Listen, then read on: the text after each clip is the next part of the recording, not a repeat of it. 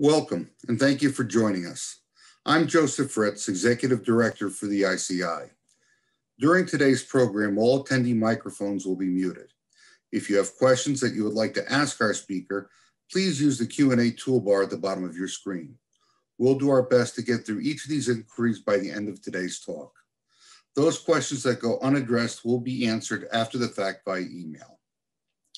Today, we have the good fortune to hear from a recent inductee to the Investment Casting Institute's Hall of Fame, the highest honor anyone can achieve in our industry. He is a university professor in the Department of Engineering Technology at Pittsburg State University in Pittsburg, Kansas, and has been molding and inspiring engineering students for the past 33 years. At PSU, he is the faculty, faculty advisor to the American Foundry Society student chapter and is the Foundry Educational Foundation key professor. professor. Additionally, he has served on the ICI Board of Directors and for two decades has been our academic advisor and program director for our industry certification program. Here to discuss the development of future Foundry leaders is my friend, Russ Rosmait. Russ? Joe, thanks for that very kind um, uh, introduction. I uh, really appreciate it and, and am honored to be uh, have inducted into the uh, ICI Hall of Honor. Our topic today um, is something that I've been advocating and pushing for quite a few quite a few years, and um, the the presentation I'm going to give you today is a culmination of numerous things I've been collecting over the years about why we have to have this need to recruit the next generation of metalcaster, uh, and we are competing with all other industries as well. So I'm going to share my screen here and put up my presentation, and um, that is going to be there move some things out of the way here so I can I can see what I'm talking about. So our topic today is the recruitment of the of the next generation of um, of metalcaster, and uh, and really a a point to be made is that we are not alone in this, and that um, all of manufacturing in general uh, is going to be experiencing uh, this type of shortage. Um, be, before we really get started, though, um, I want to step back and look at um, how this is getting there and how many times we're really relying on past generations to, to help us to get that next generation going. And, and for that, um, what I'd like to do is, um, is, is talk about something uh, that um, that we've been doing for, for many, many years, for, for, for, for hundreds of years. Um, and one of the questions that, that people ask is when you're given a project is I don't know how to do that. And so my point here is uh, we don't know anything about casting iron, um, but in fact, uh, I know someone who does. And this all came about, this idea of, um, of passing this on and really highlighting it for me, uh, came about one late evening um, was when I was flipping through the television channels and came across a TV show called Bonanza. And I don't know how many of you have ever uh, watched Bonanza, um, but Bonanza obviously was a classic uh, film from the uh, classic TV show uh, from the from the 60s and 70s. And uh, this one particular episode uh, in season 10. Uh, in fact, in fact, number 314 in the series um, uh, on the 10th season was aired on December 1st, 1968. And that's 52 years ago. And the scenario of this little clip is uh, the Cartwrights uh, are in need of a repair of a casting, believe it or not and I want to show you this little, this short little little clip. It's about it's about five seven minutes, but it actually highlights some very interesting thing. Now now technically, uh, it is actually it is really very correct, um, but I want you to uh, uh, disregard all the safety issues that are that are in it, especially uh, since it's the Cartwrights and it's it's uh, it's the, the wild wild west. Obviously, there's a shoot 'em up uh, uh, scene here, but but we, we want to just look at this when we when we come back um, of what's actually happening here. So hopefully hopefully you'll be able to uh, hear all this. Uh, and I don't know how many webinars you've been to where they're playing but Bonanza reruns, but but this is one. How's it going? Coming along fine. We got things pretty well put together. Well, do you think you'll be able to make the repairs in time? There's only two days left. Yeah, I think we can. The only thing we're having trouble with is this old broken cogwheel.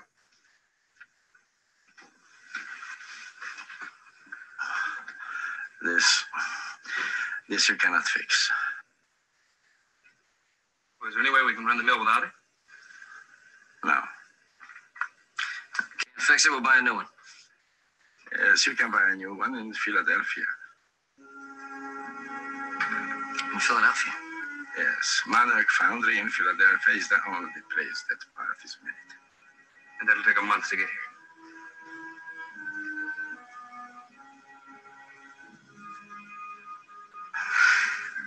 We're out of business, partner. No, not yet. No, we can't fix it and we can't buy one, so we'll uh, we'll make a new one. Make one of these? How? It's cast iron. We'll use a foundry. But you're forgetting that Renfro is the only working foundry in this town. I don't think he's going to help us. We use Hanson's foundry. Hanson's foundry's been closed for over a year, Joe. So we'll open it. We don't know anything about casting iron. I know a man who does.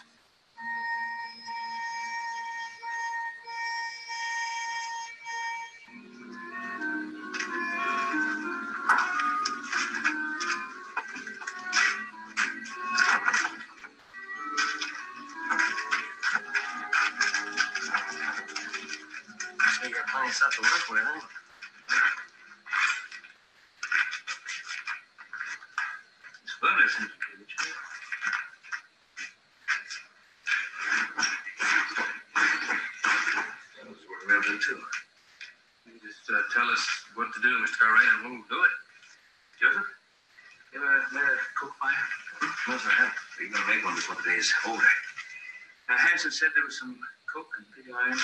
Make this place on Sunday. Joe, you and Candy come sit down. Right. Yeah.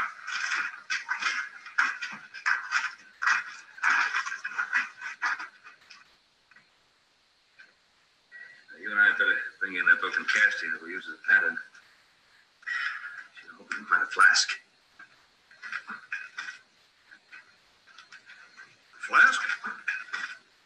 Not your kind of flask.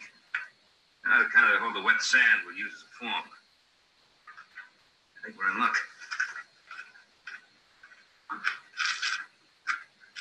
Yeah, but the red size, too. And all Riley could do with his dynamite was break one casting? He did more than that. He busted up the mill and he busted up Ludwig. But little Joe and Candy have got the mill put back together again. All except that casting. What about Ludwig? He's not hurt so bad he can't tell little Joe and Candy what to do. And they double the guards at the mill. Three Ponderosa hands packing shotgun around the clock. Cartwrights can't make that casting before the mine owner's contract runs out. Can they? Common sense says it can, but the Cartwrights don't seem to operate on common sense. Well, then we'd better be on the safe side. I want you to get me a couple of men that are handy with guns. You going against the Cartwrights? Yes, I'm going to make sure that the Lost Creek stamp mill never opens for business.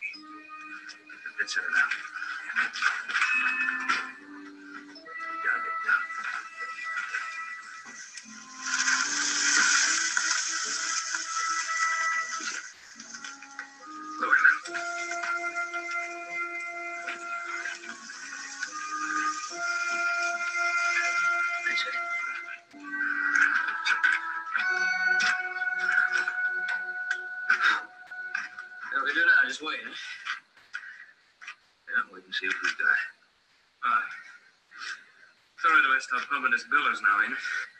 Ken, I think you better keep that furnace hot just in case. I mean, there could be something wrong with this one. Very good chance.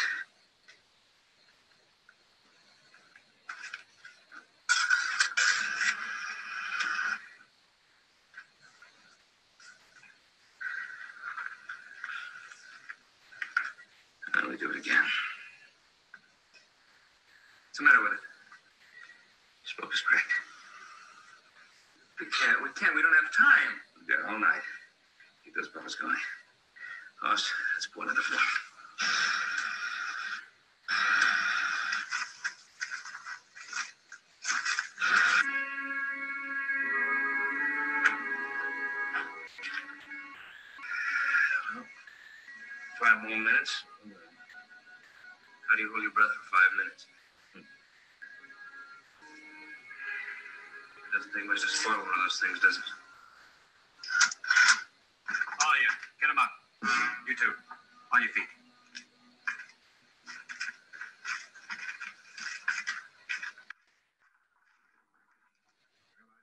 We'd meet again so soon, Mr. Cartwright.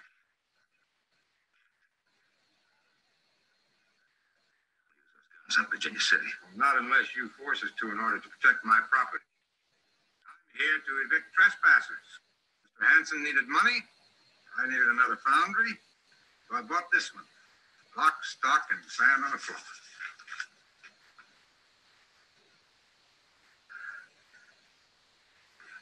You didn't buy that cogwheel. That's right, I didn't. I will take that with us Of course, but in the same shape it was in when you brought it in here. Mr. Jacks, if you'll uh, take care of that. Mr. Renfrew? Glad to.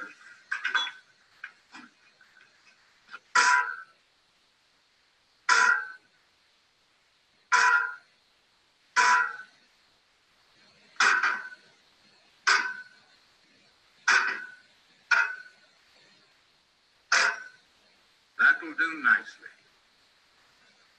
Good poker players ought to know when to cash in their chips. You should have sold when I was uh, ready to buy. Now all you can do is pick up the pieces and get out of here. Yeah, well, I, uh,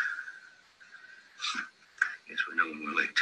That's very wise, Mr. Cartwright. You not only respect law and order, you know when to throw your hand in. What?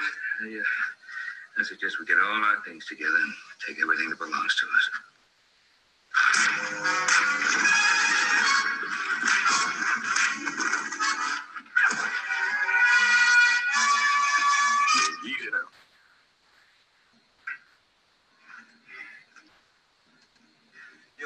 This, Cartwright. I'll have you all up for assault and battery. I'll have you in court. You do that, Mr. Renfrew. You'll the laughing stock of Virginia City. Now, this door, get out.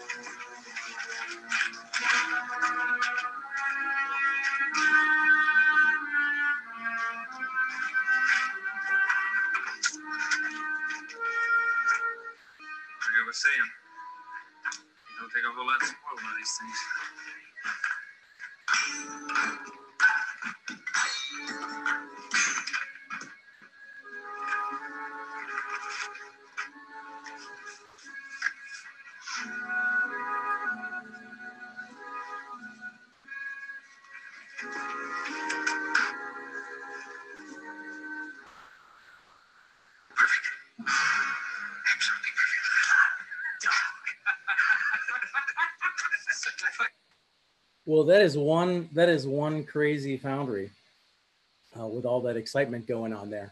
But one of the things that it shows is these these two young young people uh, had to rely on this older older uh, expertise to to get them through this uh, this problem. And and we kind of face that that same thing. But but many of our uh, older older um, uh, industry individuals are are leaving and not necessarily coming back. So just uh, if you wanted to go watch that video, watch that uh, uh, series um, that was in uh, season 10 of, of the uh, of Bonanza, and you can go back and research that and and uh, and see the whole video and see the whole history of it. So it's pretty interesting, but it does relate to kind of this true thing that we- we're doing. And so my example here is I have an employee who works for my favorite foundry, and if we take those same timeline, that same 52 years. So here I have an employee Um, uh, this is Larry. Larry is 72.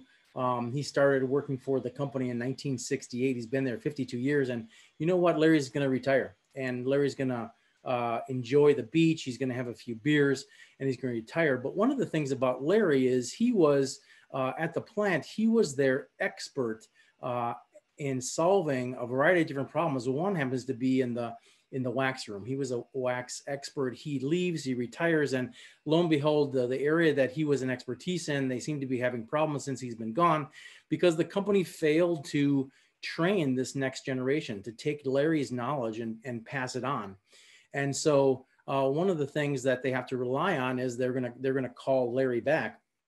But the interesting thing about Larry is he really wants to retire. He likes going back and visit, but but apparently he is now a consultant and as a consultant, Larry is going to get paid a, a, consulting fee to come back. And um, lo and behold, he comes back, he repairs the equipment, does the adjustment, uh, sends the company a bill for a, a thousand dollars. And the, the plant manager is a bit a bit incensed and said, "I'm going to need a, I'm going to need a uh, itemized bill from Larry as to what the what this bill is for a thousand dollars. And sure enough, Larry gives him an itemized bill and says, "Well, the adjustment I actually did was basic knowledge that we should have been passing on for years." And I'm going to bill you for that for a, a, a one dollar. But in fact, uh, knowing how and what to adjust, uh, that's going to cost you nine hundred and ninety nine dollars. And and so this is this is the idea of, of, of hey, I, I, in realization of what can possibly happen, we need to be training this next generation, bringing this next group of people in uh, to help us with this transition and this knowledge that we're we're eventually going to lose. And it's it's not uncommon that we would uh, do this. So the the idea though is that we have an aging population of our industry we uh, have layoffs and lack of hires literally due to the current pandemic and, and, and companies are, are losing a lot of knowledgeable people. I, in fact, have two students who, who left the industry because of the downturn and found uh, uh, found better jobs that are paying them bonuses to leave those other industries. So so we as an industry are facing some serious uh, need for going to be engineering technician engineers and technicians as well as as well as line people and, and those type of things that we need to be recruiting. And so this aging group, and here's a here's a picture of this this aging group um, uh, who are, who are getting up there, who are going to eventually leave the industry uh, and who have left and who have since even even passed on, uh, they need to be uh, replaced. And our dilemma is, uh, what well, how do why do we know that people are going to leave this industry? Well, an interesting piece of data that was um, that was done by Modern Casting Magazine is it is a survey five years ago, April 2015 uh, they did a survey and they said, How many more years do you see yourself working in the metal casting business? And so, again, this is statistically, this is just the people who took the survey, but interesting results that should be applying to us uh, since I've been talking about this topic for more than five years. Um, here's some interesting data. So, the of the pool of people who took the survey, um, the first group they asked, well, what, what here's your questions. Uh, are you going to retire in, in five years, five to 15, 16 to 25, or 25 or more years? And in the, in the pool, there was almost 30% of the pool said, well, in the next five years, I plan to retire. Well, if this is, if this was 2015, this is now that five years. So, so 2020, we're going to begin to see some of these people uh, departing our industry and in fact, if we look to the next group, another 29% are going to go within five to 15 years. So we're looking at a, a, group that's nearly 60% of the people who took the survey who in 15 years from five years ago uh, are going to be leaving our industry. And so this really leaves a tremendous drop. Uh, and, and this is also impacting not only ours, but I think this can be applied to all types of manufacturing within our industry. And if we look at other data that kind of helps us uh, support this, one of the things is, uh, is the overall birth rate in years past. This information comes from the Bureau of Labor Statistics. And uh, there's this huge baby boomer group in here that uh, if you look at this big bump, uh, those people are now in this realm of, of retirement over on this side. And so we're going to see this big, all of a sudden after the big baby boom, where you see this huge drop, and then finally it comes back. But all these people are now moving up and and and we still these are actually fairly young people on this side in fact here's a little bit newer data kind of uh, kind of reflects that into 2010 uh, where where things where things kind of leveled off in here but in fact uh, we we had this big uh, lower drop and these people so this is the 90s and 2000 i mean these people are only 10 15 year old kids uh, and and these people are in their 20s. So to backfill that, even though we have a little bit of a bump, uh, all these industries are experiencing all this loss. So we are in uh, some serious uh, condition here of the need for us to really start to recruit to our industry, um, and and we're not alone. Here's another interesting piece of data from the from the Bureau of Labor Statistics, and this is labor force growth. So this is the growth in the labor force that's out there in general, that the large pool that everyone has to pull from, not just us. And so now look at these numbers here that as we begin to jump, here's 2010, here's now 2020, where we're at, where we're in some of the lowest labor pool market uh, that is available. And now people are starting to leave and the, the need to, to do this recruitment and, and, and bring new people in is, is, is paramount. We really need to make uh, that happen. Uh, all this is all, by the way, is again from the Bureau of Labor Statistics. Here's one that kind of breaks it out. That's interesting, based on men and women, and the uh, the annual labor force growth. And again, that also reflects into that. Uh, uh, in this particular time frame of our 20 to 30, uh, there's less women in that pool than men, and many times we are trying to recruit more and more women to our industry, primarily because of the of the loss in in both. That that we have to really double the pool uh, and try to get from both of these uh, to fill this gap that we're going to see in manufacturing. Here's an interesting one as well. Uh, the annual population growth overall based on population. So if you compare total population to the workforce itself, uh, this is another uh, uh, lower number here. L literally, if this is our labor force, we're really half of the population of who's able to even work and, and help us do that. So the, the idea is how do we recruit to our industry, especially in the industry uh, that that sometimes has has even more difficulty than other manufacturing industries to get people to come and work for them. So so very interesting data uh, there as well from the from the Bureau of uh, of Labor Statistics. Uh, if, if, by the way, uh, the Bureau of Labor Statistics is full of wonderful pieces of information. If you want to go find somewhere to hang out and do some some interesting data mining, this is this is probably one of the best sites that I love to go to, uh, and and all literally all types of data that you can you can imagine, just uh, in general searches of population and and labor growth. There's just tons of things that's really uh, very interesting. So we have to really begin to plan for this to plan for this future, to recruit this next generation. And uh, there's some there's some key features that that I want to just start us off with is that even though we've known this uh, shortage is actually coming, I've, I've, been talking about this for for nearly 10 years, five years for sure, nearly 10 years.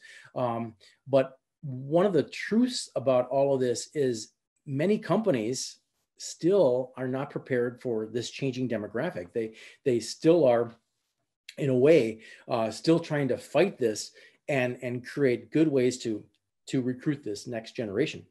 So, and we're all in this together. Everyone in manufacturing uh, in the U.S. is going to face uh, is going to face this. So, how do we begin to plan? Well, we're going to be to be planning for the recruitment challenge. So there's a, the loss there is going to be loss from retirements, obviously, that I've been uh, talking about that people are going to retire eventually, uh, go through general retirement in general, or if they don't retire, the good Lord will retire them, uh, and and things will happen, and and we'll get loss of uh, from from deaths as well. Um, I've I have a friend of mine who passed away, uh, was a metallurgist at a company actually quite a few years ago uh, and the, it was a tremendous loss for that company. It was a it was a prime person who who knew every single answer, and the replacement uh, really the the, lo- the loss of that person uh, and lack of replacement really was difficult for them um, in in getting through that that hump. Um, uh, and loss of layoffs. Today, we have uh, some of the industries, especially if we're in investment casting and, and aerospace, if we're in the and not necessarily land-based turbine power generation. That's that's still doing quite well, but but in air aircraft, in in in, in jet airfoil uh, for for airplanes, uh, that that is taking a tremendous hit with people not flying. So there's a lot of layoffs in in that side of things. So you're going to lose those type of people, and then loss in in employees just changing jobs uh, in general is is where is where we're going to see uh, those things as well. So the planning for recruitment is going to be a challenge. We have to be we have to be very very active, and there's some things I'm going to show you here of, of the extreme of being active, but um, uh, and that's active at local schools and colleges and campuses. Um, you know, I can say that we have a great pool of students who would be great for the industry. Um, but if you're in California, my, my students don't necessarily want to move to California. If you're on the East Coast, uh, you know, I've had students move there. Um, many times they they don't stay, and so um, it's best that uh, there's an old adage that I like to keep repeating. It says, "Apples don't fall far from the tree." And and I do have students who, who will leave and go and do wonderful, um, but but the likelihood of those people staying uh, becomes less. Uh, and apples don't fall far from the tree means that maybe we look at local schools and local colleges and campuses and try to build our own pool and send them to training. Maybe maybe maybe the school you're looking at doesn't actually necessarily do a lot of metal casting, but as an ICI member company, you have the ability to send them to like uh, the certification program here at Pittsburg State. So, I mean, those are all things for training and development that you can do to kind of enhance those things. Be active at career fairs and, and company days and make sure that you're out there so those students know who you are. Uh, I mentioned social media, although social media has become kind of uh, uh, a little political and not necessarily uh, uh, just full of ads anyway. So getting that face to face in career fairs or getting online career fairs very important to be to be active and involved in in those type of things. And then and then things like hiring interns and co-ops and and remaining through uh, through those things of, of good interns and co- co-ops. And I want to talk about uh, that as well about identifying this building this relationship this way that that once you get students into your company it's a good way to uh, get a feel for who they are they get the feel for who you are um, and in, get involvement uh, that way. If we talk about this development of intern and, and uh, co-op programs, uh, there's a little bit of difference. Interns tend to be three to six months. Co-op tends to be exchange with students. So we develop a great internship program. It really isn't easy. It does take a commitment. Uh, you can't just bring in the student and expect them to to to to to just take over some some project. They need a mentor. They need to be uh, uh, uh, told a little bit where to go, uh, what to do, you know, where things are. Don't just stick them in some dungeon in some back room and expect things to be done. They need to have this mentor uh, that helps them progress through a series of projects. And it may not just be one project. It may be a, a series of projects that they can go through that really help and and make them uh, make them make you help you make money. I mean, it's not it's not shouldn't be necessarily a losing proposition. I had a student go on an intern uh, uh, um, one time and a company called me and said we see your intern has a, a great deal of experience you know there's a little bit beyond uh, this uh, basic intern that we have and we're wanting to pay them a little more. What do you think? And i said well i know this individual and that individual is going to make you money. So don't feel uh, don't feel you shouldn't pay them what they're worth. They, this person will will actually make you money and, and it worked out great so these interns need to have, uh, like I said, a, a mentor. Uh, either you uh, do three to six months. Uh, some schools actually offer dedicated co-op programs where uh, student will be at your plant for six months. They'll go back to school, come back to your plant in six months, and those actually work out great. Um, I'm not sure of the success rate of those people coming back to your company at full time, but but many times that works out really well. They they they actually expect a job. I had a student on an intern uh, years ago who went on an intern to the company and uh, he the person did so well uh, that the the president of the company said, you know what, we like you so much, we're just going to pay for the rest, rest of your school if you come back to work here. And so here the student went debt free, came back to work there, and ended up working for them uh, after they after they graduated. So there's a lot of things that, to recruit that that great person uh, that that you can do.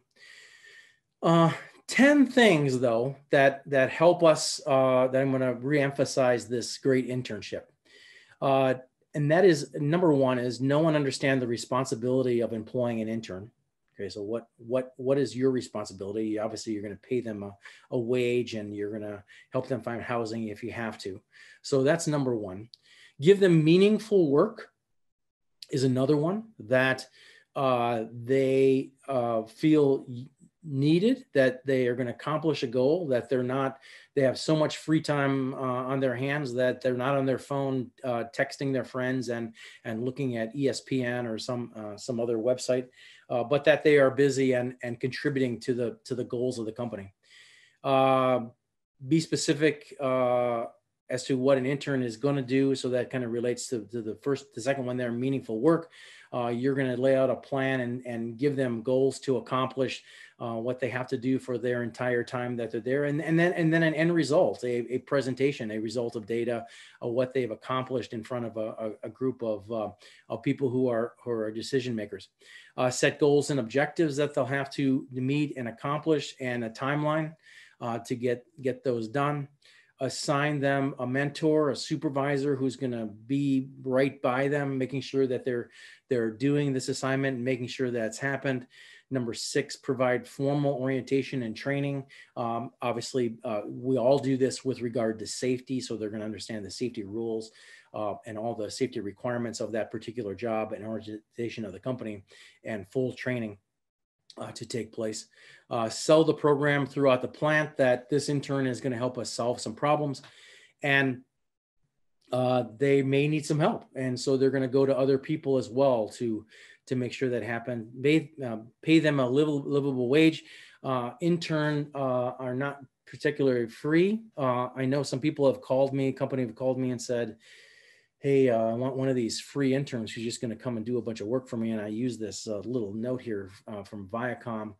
Uh, one ICI spring management meeting, we had a talk um, about um, this particular topic of free interns. And um, um there's companies, uh, actually, the, the, the, Viacom suit was about $4 million that Viacom had to pay to past interns because they, they, they they did free interns. And, and if you're going to pay them a livable, livable wage, uh, um, there are labor labor laws that you you really need to pay an intern. And I just kind of want to emphasize that that interns typically aren't free.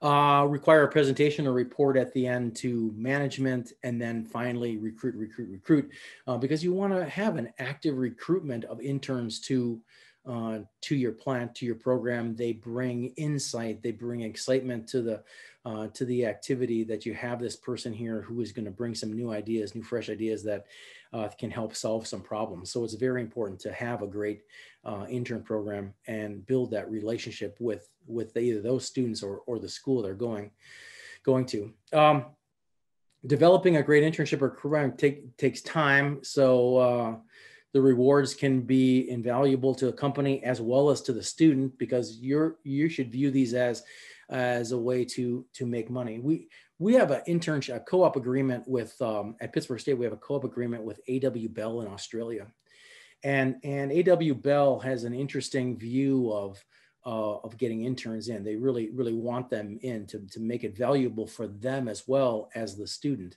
And uh, Sam Bell, for example, uh, uh, provides them with a car, helps them find housing, pays them a livable wage, um, and and then makes them be integral to the to the plant. And they're there six months, so uh, they get to learn the culture of Australia, as well as learn investment casting uh, the way the Australians do it. So uh, we've had great success. We've had six interns down in Australia and worked out great. The ultimate goal is to recruit interns and co-ops uh, to become a full-time employee. That's hopefully going to be what you're going to try to do after graduation. And uh, you know they've invested both time and uh, time and money into you, and you into them. And so hopefully you're if and what's nice thing about a co-op and intern is if you really don't like them, uh, if they don't perform really well, you don't necessarily have to invite them back. Um, but if you get a really good one, the trick is how I'm going to uh, get that person to stay. Uh, remember, you're not alone in the process. So there's other people trying to do the same thing. And you're competing with other companies in industry who are vying for the same labor pool. And so you have to try to make this sale uh, to get those people to your organization. Uh, building a partnership with these local and regional and national universities is going to help you succeed in this endeavor. Uh, the companies have to know who you are. With all the digital stuff that we do, especially posting jobs, I mean, we we have this uh, program in our career services office called Handshake, um, and companies can can be part of that, and they can post their jobs there. And so this is becoming a quick, faster, quicker, better, in my opinion, as to how we can identify what the openings uh, actually are. So uh, very, very important in, in planning for this, this, this co-op. So I want you to work for my foundry or for our foundry, and uh, and so we we have to have a plan of attack. And and if you are going to recruit, uh, typically what recruiters want is uh, you know when you go to the store and go shopping. When I go shopping, I and I have to buy and I buy apples. You know, this is what this is the picture perfect uh, apple that I want to get. And, and many times, when you go when you go out there looking for a new employee, many times this is what you're this is what you're after. This is what what you're looking for. You want this nice, bright, shiny apple. And getting that nice, bright, shiny apple isn't necessarily going to be easy. Uh, and the recruitment strategies um, uh, can to be difficult in many cases. And you can't hire great people if you're first attract the, the great candidates. You have to you have to you have to have a recruitment method. And most companies, uh, believe it or not, in general, attract the bottom third of the candidate pool. And the reason why, especially for us, is we start too late, we take too long, and we pay less. And that's kind of um, uh, that's kind of uh, true all across the board, especially many times in manufacturing. So we do have a difficulty uh, in getting to this candidate pool to get those nice, bright, shiny apples uh, and getting those in there. Um, so um, many times what we can do is we can start with current employees. So they're our best advertisement. So that's that's one way to get things going. You know, people have children who who are studying in college and maybe they want to come and work for the plant. So sometimes that works out really well. Uh, you want to build a culture where employees love where they work and they're passionate about success. Uh, great people know other great people, so so that's a good pool. Um, I have a former student of mine who went to work for a company uh, several months ago. He, re- he recruited his brother and two other people to come work for them at that company. I mean, it's a great windfall for uh, uh, for the company. Um, employees can be advocates on your behalf incentivizing that uh, can also sometimes there's a referral bonus and perks for for companies who do that. So those are common things that we many times see in our process. We want to set the bar high set the bar high to hire some of the best people that we can but but sometimes that uh, that's difficult okay? So so those are important. And and we have a variety of different recruitment methods. I i i um one of them is to build a relationship with colleges and universities and faculty and, and, and getting them into your plant. Uh, get a close relationship uh, with faculty is crucial sometimes. Select a faculty who know their students. Uh, that's usually pretty helpful. I get numerous calls from people for uh, for for jobs and re- referrals, and and typically, you know, I'm active in this industry. I typically don't want to send you the bottom pool. Uh, so I usually don't do that, but but there is a pretty large pool, and some of those are not at the top, but but they they all can be uh, recruited. Um, you know, have a relationship with the best students. They tend to have a relationship with the best students. They have the ability to influence the students' decision making. I, I want to say that that's sometimes true, not always. I mean, I've tried to recruit some of the best people possible, and somebody, some people tell me, mm, "No, thanks, Russ. I'm not. That's not um, for me. Um, they can also sell the best students on employment opportunities with your organizations. And again, th- this is difficult. There's family influence, there's location influence. Uh, so, so even though that might be uh, on, on the on on a possible side, uh, I'm going to just give a little caution there that that's sometimes uh, not necessarily uh, true. And I more the recently than ever, I, I've had that success of uh, and probably because the labor market is so large now, uh, and the pool, the, the able to get a job is is is um, uh, so open that uh, they have better choices. So we really have to do a better job of, of selling. I just want to show you this example. So this company called Leggett and Platt is one that really wanted us to, to sell their company to our students. And, and there's a pretty large company. They're located uh, about 30 miles from Pittsburg State. They have 130 manufacturing facilities in 18 countries, a massive company, 19,000 employees. I really had no idea they were this large and, and located 30 miles from us. But they make uh, springs and beds for seats and chairs and and and and and, and beds, and they, they they have a huge they used to have a foundry they no longer have it anymore but literally they went through this campaign with pittsburg state and we got special invites. So i just want to show you a couple of these little pictures. We got this little invite and then a thank you for attending. So this box came in my in my mailbox inviting me to this opening doors thing. We want you to come and and be part of helping us recruit the best people. And now this is really extreme but i just wanted to kind of show you this. So inside of here was opening doors with dialogue. We want to meet with faculty. We want to make sure that your your students know about us through you and and this is a bit extreme i do understand but i i just wanted to kind of show that another way though is is uh, for our industry we have the foundry educational foundation or fef and and fef is a great recruitment tool if you're not active and involved in the industry uh, uh, recruiting the, the, these people do a wonderful job in, in having a pool of universities where they we know that the students are exposed to metal casting, they know what it is. And and they have a career conference every November in Chicago. Uh, they just held one virtually a couple weeks ago, uh, but it's normally every year in Chicago, and they're trying to do a virtual another uh, event in March. So we'll see if that if that happens. But they have a annual career fair uh, um, to to help recruit that next generation of students, and and what you get is a pool of students who understand what metal casting actually is. And, and so uh, they've been casting careers since 1947. So they've been around for a while. And you see the ads in Incast magazine uh, where Incast uh, will be ru- uh, running some of their some of their stuff and articles. Um, uh, they're they're an integral part of our industry. They're always at the uh, TNO and the, they have a they have a tabletop at the show, and so they're usually always there to help us recruit for the next generation. And they have about 30 35 schools uh, that they're partnered with to, to help recruit that next generation of, of students. Here's a couple pictures from their career fair um, just to show that um, they're doing lots of recruiting. Um, this picture is actually very interesting because the people who really need lots of people are people like General Motors and all the people in this picture with gray shirts on so this individual, this individual, this person back here, this one here, this one here, this one way over here. Uh, when they bring a pool to recruit for for General Motors, uh, they are bringing a team of people. Just so you know, and General Motors is a bit is a bit extreme, but but I just want to show you the impact. Uh, here's just another picture of that of that kind of the career fair. Here's another one. The students on the right here is from Kent State, so in Ohio. Um, and um, the, the, company there is Inductotherm. So we, they, there's a lot of different people there. Uh, the ICI, we normally have a booth there and we are collecting resumes that go into a resume pool that is on the ICI website uh, for members to access and, and, and look at and, and review. So we are active in there uh, as well.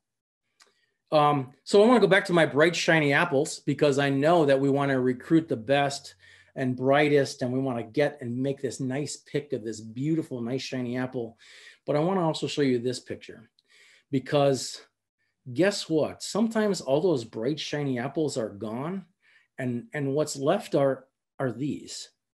And I want to tell you something that these aren't necessarily bad apples. My my my mother would get these apples, and you know, and you know as well as I do that that you can make great stuff with these apples. You can you can pick out the bruised spots and and get a good part of an apple, and you can make great apple pie and great apple strudel, and and and and, and not these bright shiny apples. The bright shiny apples aren't necessarily the things that make great apple pie and strudel and all those great apple bakes and apple cheesecakes that you can make it's normally these type okay? And and if you were going to recruit we have to be open to be able to go you know what? I can take this apple and i can uh, take off some of the bad parts and i can retrain and i can do some things and i can get great stuff out of this pool. And and that's my my key point uh, in in recruitment is you can get other great stuff. So I want to thank you for the time for attending uh, and uh, want to know if there are any questions. Uh, here's my here's my contact information in case you need to email me directly. Um, but but recruitment is an ongoing effort, and like I say, I've been I've been on this bandwagon for many many years uh, to get to this point where we're we're really going to see some some really need to to backfill our our industry tremendously. So thank thank you all for attending. Joe, I'll turn it back to you. Right, all right Russ, thank you. Um, just want to comment, uh, listening to you talk, uh, one of the things that you could have highlighted also is that December is our is where InCast publishes its education issue. Exactly. And, and uh, the brief synopsis of different students from our member universities, and this is the cream of the crop, folks. So if you want to see who's out there right now, those bright, shiny apples, the uh, upcoming issue, the December issue of InCast Magazine, which is at the printer right now, uh, will highlight that for you. So thank you, Russ. Really appreciate the time you spent with us. No, no problem. Any any time, And if you have any questions, um, uh, please please let me know. We're always interested in helping you find that that next person, that next generation individual. And if it's not Pittsburg State, there's a variety of great schools uh, out there to to help you get that individual. Thank you. Thanks for having me. You're welcome. Yep. Well, folks, this was the 13th and final webinar for the 2020 season. We had originally scheduled four pre presenters for this year, but with the cancellation of the Business and Leadership Development Conference, we felt it appropriate to further enrich this program, offering our members additional meaningful content on important business matters facing our industry. So I hope that you've enjoyed, and I'd like to thank you for joining us and look forward to hearing your feedback on the webinar series. We're currently developing the program for 2021, and uh, I would like to solicit your assistance. If there is a speaker that you would like to hear from on a business related topic, please reach out to us and, and share your thoughts. With that, I would like to thank you for your patronage and support during these trying times and wish you a safe and happy holiday season. This is Joseph Fritz signing off for 2020. I look forward to seeing you next year.